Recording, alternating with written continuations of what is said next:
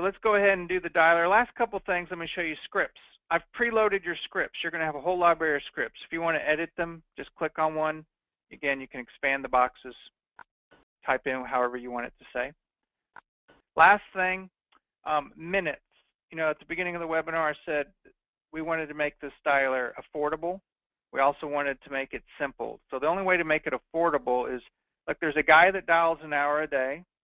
There's a guy that dials two hours a day. There's a guy that dials three hours a day. There's a guy that says he dials four hours a day, but he really only dials one hour a day.